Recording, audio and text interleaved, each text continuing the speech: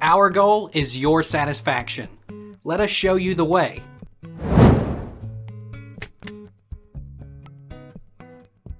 What is tetrazine used for?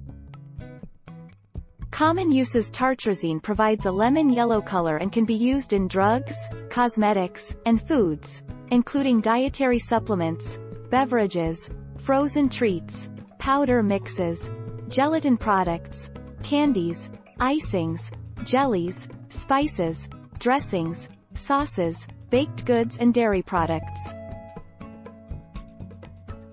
What is tartrazine found in?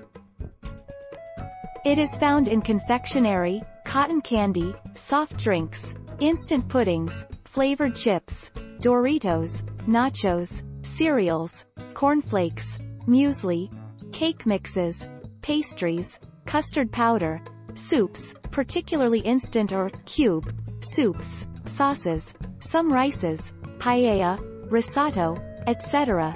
Kool-Aid, Mountain Dew, Gatorade, ice cream, ice.